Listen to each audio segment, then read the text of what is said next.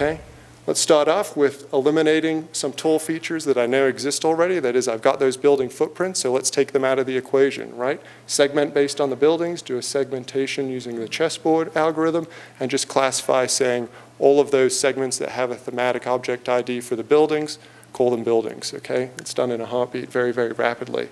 Now let's talk about contrast split segmentation using the LiDAR normalized uh, digital surface model. This is a fantastic algorithm, much, much faster than multi-resolution segmentation, and actually gives you better results.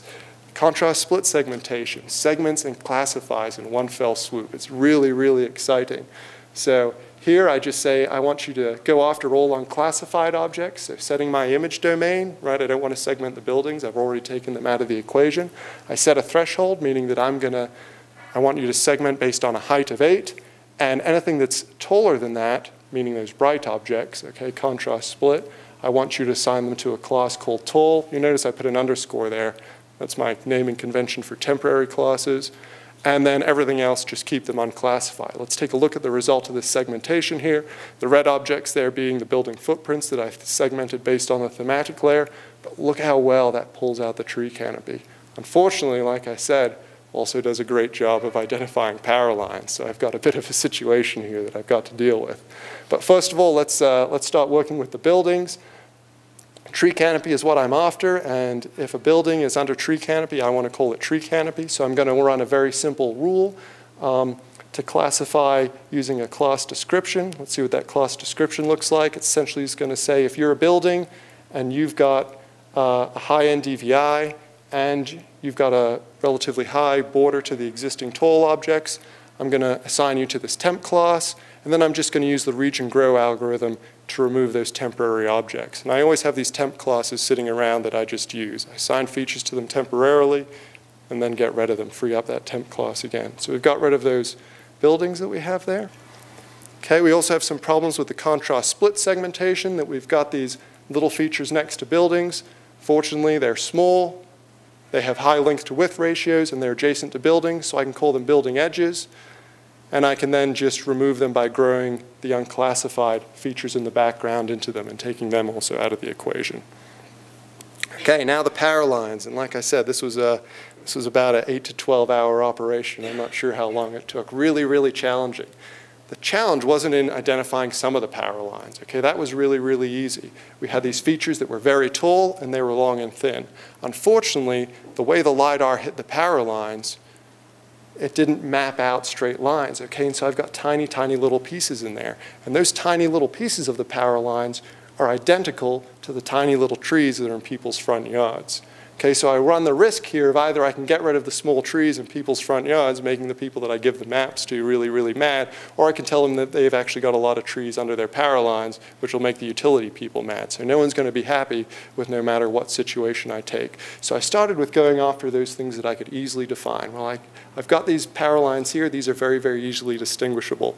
And then I ran a looping process, and this is the only part of my that rule set that you saw there that is anyway slightly advanced. Everything else is really assigning objects based on one or two parameters. So what I did is I started a looping process that identified power line candidates. Okay, power line candidates are things that were also small and tall. Now power line candidates, I've got a bunch of them in the residential area here, these light purple ones, and then I've also got them scattered out here within the power lines, and here you see that in the image objects below. And so then I used a distance 2 classification that started building out from my confirmed power lines, the dark purple, into the candidates. Okay, so what this allowed me to do was through iteration, so starting a looping process here, if you're a candidate and you're near a confirmed power line, reclassify you as a definite power line. And so this started building out. As a result, all these candidates that are scattered in the residential areas, they're not close enough to the main power lines. So in the end, they don't show up in the final classification. So this is, I was, I was really jumping up and down when I figured this stuff out. Because I don't, I don't have a lot of brain power. I mean, I barely got through calculus in college. So the fact that I figured this out was, uh, I was really pleased with myself. So there we've got the power lines out of the picture. Um, that's not enough. Uh, we used to just kick products out like that, but um, people get really, really upset if their trees aren't round. Okay, and, and this, is, this is once again, you, you wouldn't find a single complaint among a group like us. You'd understand that, you know, image segmentation, it's, it's, it's really tricky, but you show these maps to someone at a community meeting, they're like, hey, how come that tree in my yard has got all these edges on it? And then they get focused in on that and they, they stop thinking about everything else, right? Images are very, very mesmerizing to people. So we want to find a way to deal, let me back up here, we want to find a way to deal with these edges here. Okay, and Definiens has some great morphology operations. The problem is that morphology is very, very high, uh, requires high memory. So what I'm going to do here is I'm going to start by growing out these features, okay, using a chessboard segmentation, finding the pixels next to them, growing out, shrinking it back down, and then removing some edges with the morphology. So I'm going to run that morphology filter, but on a much smaller area than I originally had to. So what I've done here is I've segmented the image using a chessboard segmentation on the unclassified areas. I'm then finding those image objects from the chessboard segmentation that border the existing tool areas. I'm then going to repeat that segmentation moving in here at a very finer scale, so finding the pixels that are directly around the edges of these tool features. So I did a double segmentation here. Why didn't I do this fine scale segmentation to begin with? Because it would be much more processor intensive to do a fine scale segmentation for a large area. This way I've narrowed in the fine scale segmentation to this green area here.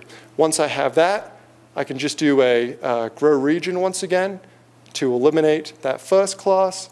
So growing the unclassified into those green objects, and now I can grow the trees out into those. So that's nice. It's expanded the tree canopy a bit, and this is important because LiDAR is leaf off, so it doesn't get all the leaves in there. So now I've made the trees reflect their size a bit more. The downside is that because I used a chessboard segmentation, I've got these square areas. Once again, you know, people get all wrapped up. You know, trees aren't square. What's going on here? What happened with your feature extraction? And they get really, really upset with us. So we run a morphology operation. Okay, we use the uh, opening algorithm there, and so that filters around using a very small circle. We assign these um, uh, edges, little slivers of the tool objects to a temp class. And then once again, we just do a unclassified region grow into those. And so the end result here becomes a much, much smoother, much more realistic depiction of the tree canopy. We then just free up that temp temporary tool class, assign it to a forest class. And to zoom out here, um, th this is you know the classification to date. So you still see that I've got a bunch of work here. I've got to get lawns, I've got to map impervious features and do all of those things, but at least I've knocked out the tree canopy here. The only exception is um, a few of these tiny, tiny little trees here. You can see their shadows in people's front lawns. Uh, I checked the LiDAR, and these are about four to five feet in high. So once again, like I did in Des Moines, I'll go ahead and I'll map those shadows, and I'll just classify the shadows as trees, because people don't care if they can't GPS to the tree. So if it's one or two meters off because I mapped a shadow, they're okay. So, but this is the, the point that I got to. Very long rule set to get me there, but the rule set is very, very easy to understand, okay? It's just mimicking what a human would do the whole time. And uh, yeah, that's the, uh, that's the end of the presentation. So I hope you found the, uh, the, stuff, uh, the stuff useful. Um, it's, not, it's not rocket science. I'm just mimicking you know, what I would do in manually interpreting those images. And it's very efficient and it's very transferable. And mo more importantly, I can process large data sets when I kick it out to eCognition server.